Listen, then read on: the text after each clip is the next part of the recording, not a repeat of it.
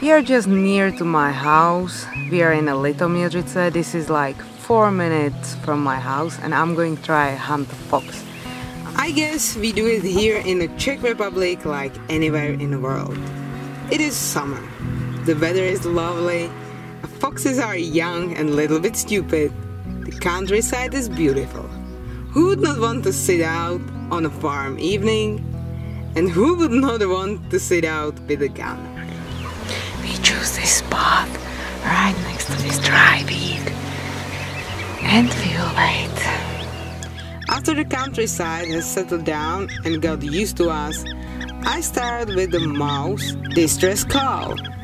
This is a common call here in the Czech Republic. It is not long before something happens. A fox comes out and it's joined by another, then another one. They do not seem to be interested in my call. None is the roe deer though in the field next to us. The Czech Republic has no shortage of game, maybe that's why the foxes are not hungry at all. The foxes start to play King of a Castle, and this is my chance. That backstop may look not safe, but I assure you it is fine. What is not fine is my shooting. I miss. Come on, forgive me, I'm not a Wonder Woman. Well, yeah, I missed. No blood here, no tracks. And it was so far shot, so maybe I should wait if they come a little bit closer to me, but I couldn't help it and I try. And this is hunting, you're not always successful.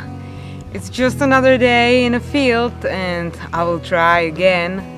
But it was awesome how they were, were playing at this thing. Yeah, it was fun. I'm a little bit disappointed I didn't hit, but it's life. I can go home and have a dinner. But there is always another day. That new day takes me to a different hunting area.